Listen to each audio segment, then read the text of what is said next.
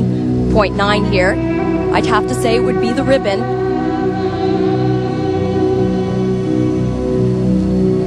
Music by Peter Gabriel.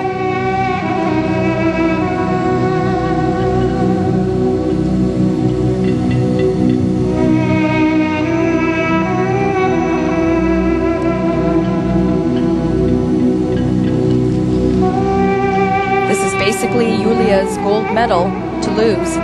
If she performs as she's been doing all day long, this will be her day.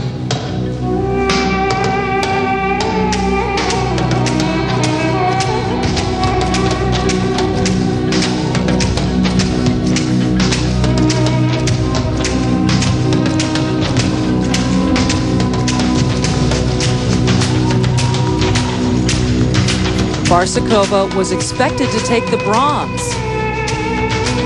But first, Raskina had a major miscue in her hoop routine.